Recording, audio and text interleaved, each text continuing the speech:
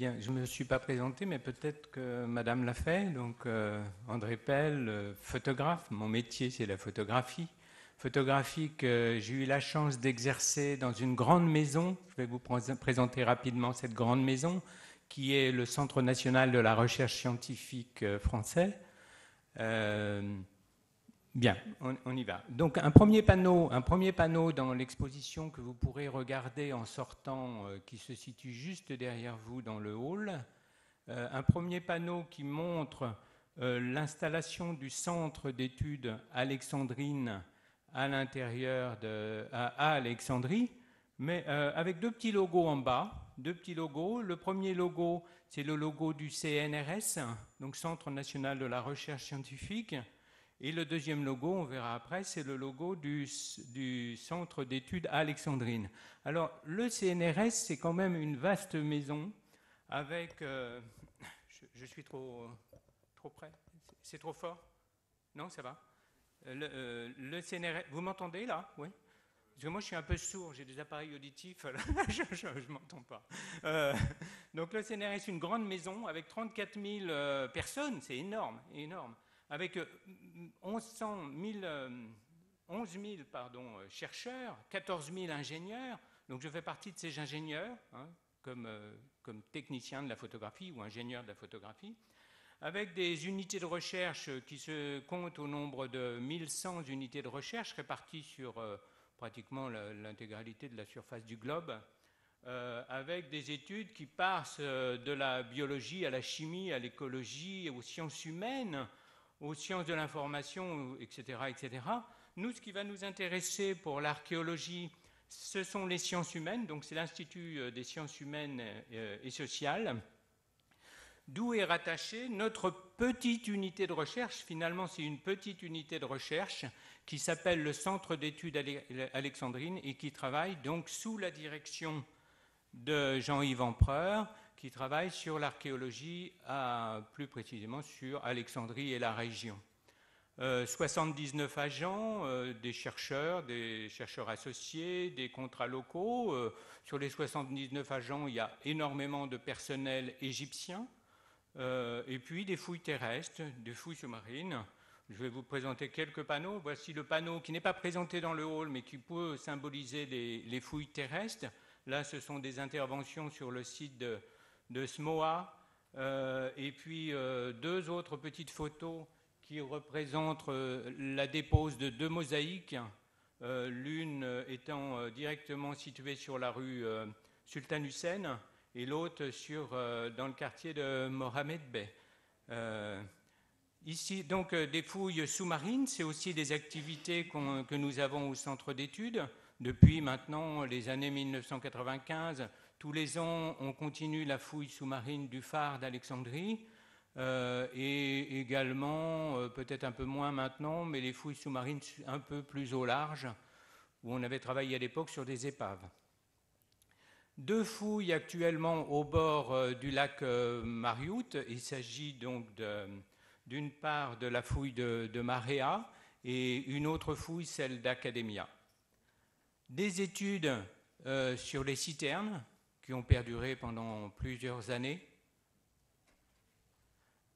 Euh, un, dépôt, euh, un dépôt de fouilles où nous conservons euh, les objets issus de nos fouilles et également où se situent les études sur ces objets de fouilles. Un laboratoire, là nous sommes dans la citadelle, dans la citadelle de Chalalat, située dans le jardin de Chalalat, hein, donc qui est notre dépôt de fouilles avec un laboratoire de restauration de monnaie, un laboratoire de restauration de mosaïques et un laboratoire de caractérisation des matériaux. C'est un laboratoire un peu plus pointu sur la composition de la matière.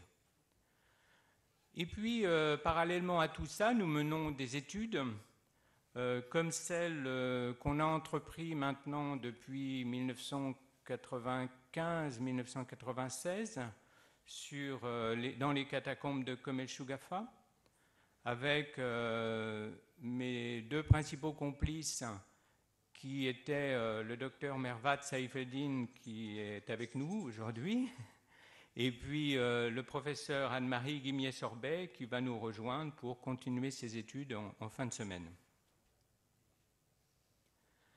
Donc l'exposition que vous verrez euh, en, sortant montre, résume en fait euh, la conférence que je vais vous faire ici sur la photographie dans l'invisible à travers euh, donc six, panneaux.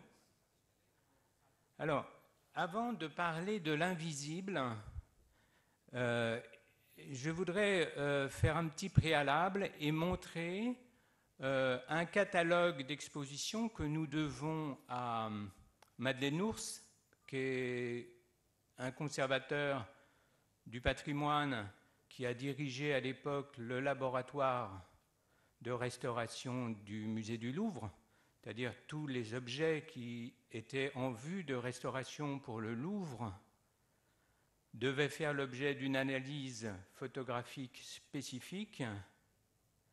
Et cette analyse photographique passait obligatoirement par des prises de vue dans l'invisible. Pour moi, ça a été un peu, quand je suis arrivé à Alexandrie pour étudier Komet Shugafa, ça a été un petit peu euh, mes ressources de référence. C'est-à-dire, je savais que j'allais avoir affaire à plusieurs types de prises de vue qui avaient été définis par le laboratoire de recherche des musées de France, donc au Louvre, et où Madeleine Ours nous raconte que pour euh, réaliser un dossier complet d'œuvres, il faut faire bien sûr une photographie en euh, lumière normale, en lumière du jour, on va dire, plus une photographie en lumière rasante. Et là, sur le, côté droit de l'écran, vous voyez la lumière rasante qui permet de voir les soulèvements d'une peinture, c'est-à-dire le les endroits où la peinture s'est décollée du support, donc qui préfigure une restauration euh, future de l'œuvre. Et ensuite, elle suggère déjà d'une part deux autres prises de vue, une prise de vue de la fluorescence ultraviolette. On va largement avoir l'occasion de revenir sur, euh, sur ce que c'est que la fluorescence ultraviolette et à côté, euh, une prise de vue dans l'infrarouge. Fluorescence ultraviolette, je reviens rapidement là-dessus. Euh, pour, créer de la fluorescence ultraviolette, on va euh, utiliser des sources de lumière qui dégagent de l'ultraviolet, qu'on appelle aussi lumière noire, et on va utiliser des appareils photographiques standard, sans rien de plus. Des appareils à l'époque qui étaient des appareils argentiques, ça faisait tout à fait l'affaire, avec des émulsions photographiques normales. Par contre, en prise de vue infrarouge, il va falloir, quand on était dans la période de la photographie argentique, utiliser des émulsions photographiques sensibles dans l'infrarouge c'est-à-dire qui ne s'arrête pas au niveau euh, du spectre visible par l'œil humain, mais qui s'étend réellement, sensibilité spectrale qui s'étend réellement dans l'infrarouge. Bien, euh, je reviendrai sur ces choses un peu plus tard également. Euh, et puis, euh, suggère également une chose qu'on ne peut pas faire ici, du moins on ne peut pas le faire dans les catacombes de Komeshugafa, c'est une radiographie c'est-à-dire euh, utiliser les rayons X euh, pour euh, voir à travers l'œuvre ce qu'il pourrait bien y avoir de, sous-jacent. Alors, petite anecdote sur la radiographie. La radiographie, on la découvre finalement en 1895. Ça, c'est la première radiographie. Alors, c'est aussi la première fois que la photographie va dans l'invisible. D'un seul coup, on se rend compte qu'on peut photographier réellement au-delà de ce que l'œil voit. Là, euh, on voit une main, c'est la main de, la femme du professeur euh, qui a mis au point euh, les méthodes de radiographie. Bon, cette image ne nous étonne plus actuellement, c'est presque, on a tous fait des radiographies du poumon, on, voit bien qu'on peut voir à travers le corps. Mais c'était étonnant quand même. Resituons cette photo euh, donc, euh, au moment de la découverte des rayons X. C'était complètement étonnant de s'apercevoir qu'on pouvait aller dans l'invisible. Et la, police, la police criminelle, la police scientifique française avait imaginé qu'on pouvait peut-être photographier l'œil d'une personne assassinée et photographier sur la rétine l'image de son assassin. Pourquoi pas hein Pourquoi pas Peut-être on y arrivera. Pour l'instant, on n'a pas encore réussi à faire ça. Mais on, est avancé dans on a avancé dans d'autres domaines que je vais vous présenter. À Comet Shugafa, euh, nous avons, euh, on va largement revenir également sur Comet Shugafa, nous avons essayé euh, des prises de vue dans l'infrarouge qui n'ont rien donné et nous sommes allés plutôt vers les ultraviolets. Donc nous avons utilisé de la lumière noire, des néons ultraviolets pour faire nos prises de vue. Donc je vais revenir à l'exposition qui est dans le hall avec euh, des images. C'est une galerie de portraits. Vous avez, euh, je ne sais plus, une vingtaine de portraits qui sont présentés dans le hall, euh, qui sont des images invisibles. Personne n'a pu voir ces images avant, je dirais pour certaines d'entre elles, avant 2012. 2012, c'est-à-dire il n'y a pas si longtemps, il y a deux ans. Personne ne les avait vues depuis l'Antiquité. Donc elles s'étaient doucement, elles avaient doucement, doucement disparu. Et on va réussir, grâce à la fluorescence ultraviolette, mais également grâce à la photographie numérique qui nous permet vraiment d'aller très loin dans, l'image, on va réussir à faire ressortir ces portraits. Donc une petite visite de l'exposition à travers donc ces, déesses et ces dieux invisibles. Nous, sommes là dans, les catacombes de Komeshugafa, dans la salle de Karakala, sur une des tombes. Pour nous, on l'appelle la tombe numéro 2. Donc si euh, vous allez visiter demain Komeshugafa et vous êtes touriste, vous avez un petit appareil photographique, euh, mis à part que c'est interdit de photographier, mais bon, euh, si, vous, cherchez quand même à photographier, vous allez obtenir une photo comme ça. C'est-à-dire, et si vous cherchez à photographier cette zone de, cette tombe, vous allez avoir cette image. Cette image ici, c'est-à-dire rien. Euh, en fluorescence ultraviolette, vous allez obtenir cette image-ci. Et là, on commence à voir sur cette image violette donc qui est provoqué avec, de la, avec des, néons ultraviolets, on commence à voir des détails. Euh, vous pouvez imaginer sur la, sur la droite de l'écran quatre chevaux, et puis vous pouvez imaginer un personnage barbu qui tire un char avec un fouet également, et probablement une femme ce sont les images qu'on avait jusqu'en 1980, jusqu'à 2010. Avant qu'on refasse une campagne photographique en 2011-2012, grâce au professeur Monahaga, qui avait demandé une autorisation pour le faire, nous sommes repartis donc avec des appareils numériques de haute qualité, parce que là, à l'époque, on était sur de l'argentique. Et euh, nous avons modifié ces images et de cette image donc euh, sous ultraviolet, nous obtenons maintenant cette image-ci. Donc elle est assez surprenante. C'est une image sortie de l'ordinateur, sans aucun trucage. C'est-à-dire il ne s'agit pas de redessiner quoi que ce soit. Euh, il s'agit de sortir l'image réelle telle qu'elle est, telle qu'elle était, telle qu'elle est devenue invisible et telle qu'on va la rendre visible de nouveau. Donc, euh, je, vais venir sur la galerie de portraits avec, euh, euh, il faut imaginer une tombe avec un panneau à droite, un panneau à gauche et un panneau central. Voici le, bas de, la tombe numéro 2.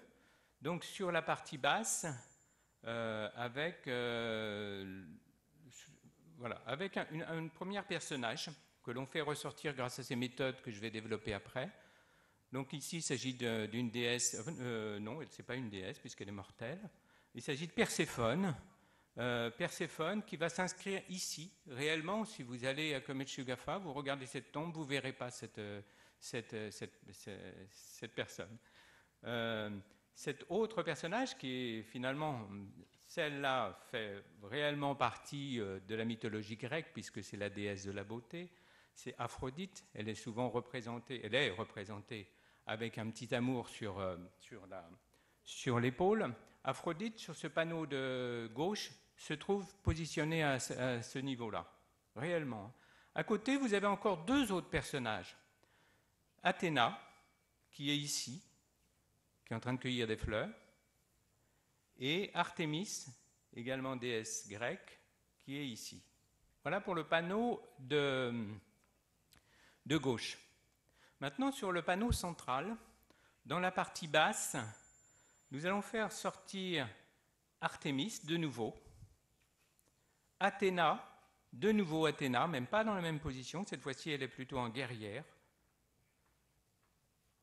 Aphrodite et Eros sur, euh, sur, l'épaule, et Hadès en train d'enlever Perséphone euh, et qui l'emmène avec un chat. Hadès, bah, vous le savez, c'est le, dieu de, des morts. Hein. donc on est vraiment, on a là euh, l'image symbolique du, passage entre la vie et la mort. Sur le panneau de droite, ici, nous avons Hermès. Hermès qui est toujours euh, avec son caducé. Au centre, nous avons un chien à trois têtes qui s'appelle Cerbère, qui est le protecteur du monde des morts, protecteur des enfers. Il ne s'agit pas d'y rentrer n'importe comment et d'en sortir n'importe comment, surtout d'en sortir d'ailleurs. Ça va devenir difficile. Et un peu plus loin, vous avez de nouveau Hadès et Perséphone, qui euh, mythologiquement deviendrait sa compagne. Alors vous avez dans cette tombe deux zones, une zone basse, qui est une zone euh, qui représente la mythologie grecque, et une zone haute qui représente plutôt la mythologie pharaonique. Si je prends le panneau euh, de gauche en haut, je fais apparaître Isis, Osiris, Tot Ibis.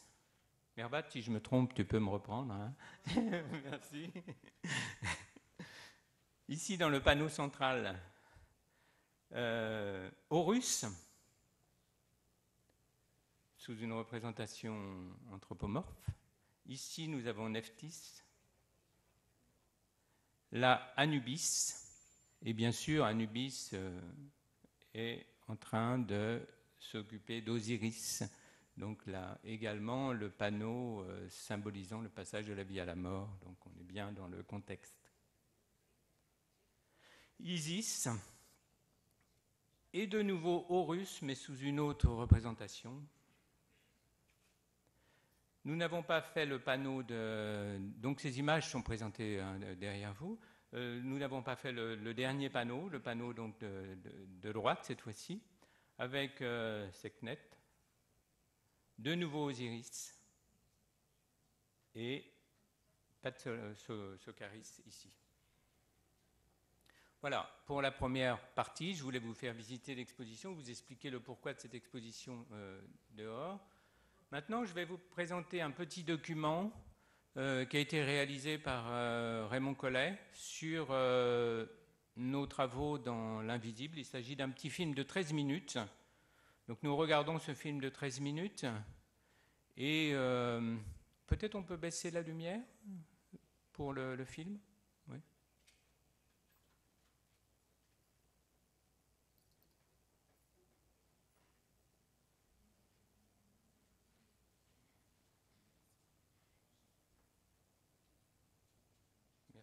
Merci, merci beaucoup.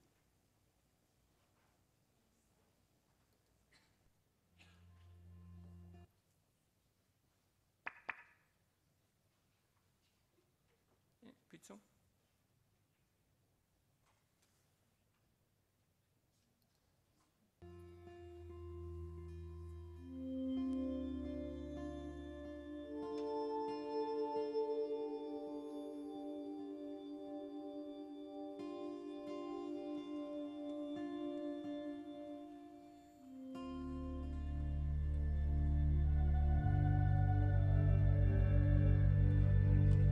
L'homme a toujours été intrigué par ce qu'il ne peut pas voir. Cette recherche de l'invisible intéresse aussi les archéologues. Des photographies d'objets, de tombes, de sarcophages, de momies, laissant imaginer que des éléments picturaux ont disparu, pourrait-on les faire réapparaître en modifiant les techniques de prise de vue classiques? Alors comment opérer?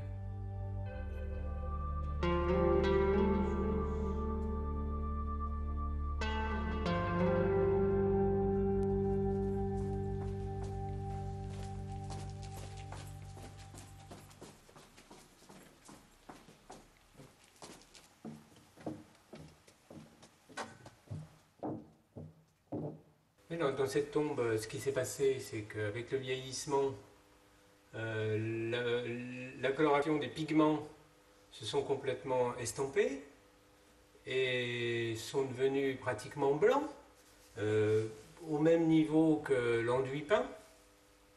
Alors on les voit plus, l'œil humain ne les voit plus. L'œil humain voit à partir du rouge, c'est-à-dire limite infrarouge, jusqu'au violet, jusqu'aux limites de l'ultraviolet mais il ne voit pas ni dans l'infrarouge ni dans l'ultraviolet. Par contre, il voit très bien une fluorescence provoquée par les ultraviolets. En 96, je viens en Égypte avec des tubes de lumière noire. Ce sont en fait des néons de boîte de nuit qui provoquent de la fluorescence. Mon idée est de faire ressortir par la fluorescence des traces de peinture pratiquement effacées dans les catacombes de Comet la pause de 30 secondes.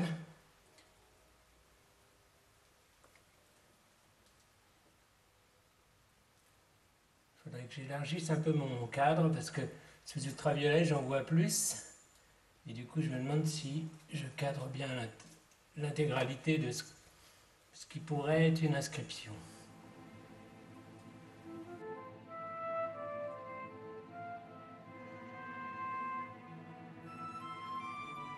En 1996, on fait une première campagne de prise de vue sous ultraviolet. On va créer une fluorescence des peintures et obtenir des résultats assez remarquables. On a donc des images, des images argentiques, des tirages papier. Bon, on pourrait considérer que c'est terminé, que notre recherche est faite. L'ultraviolet, alors comment ça fonctionne?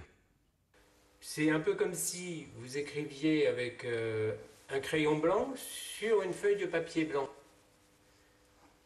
Là, votre texte, vu à la lumière blanche, à la lumière du soleil ou à une lumière blanche euh, d'appartement, il est complètement illisible. Par contre, si vous prenez des ultraviolets, et si vous mettez, vous mettez dans l'obscurité complète, les ultraviolets ont la propriété d'exciter certaines matières et ne pas exciter d'autres matières, c'est des matières qui sont réceptives ou non aux ultraviolets. Et c'est ce qui va se passer ici, c'est-à-dire que l'enduit peint, euh, l'enduit proprement dit, euh, va euh, être très réceptif à, la fluorescence ultraviolette et les pigments vont rester ternes à cette fluorescence. À l'opposé du spectre, nous avons les infrarouges. C'est une autre méthode de prospection dans l'invisible. À l'ère du numérique, les émulsions photographiques argentiques sensibles dans l'infrarouge ont disparu du marché. La société Kodak a abandonné leur fabrication. Il faut donc recourir à une autre méthode, soit celle d'enlever devant le capteur de l'appareil numérique le filtre anti-infrarouge disposé par le fabricant. C'est une opération un peu délicate à faire.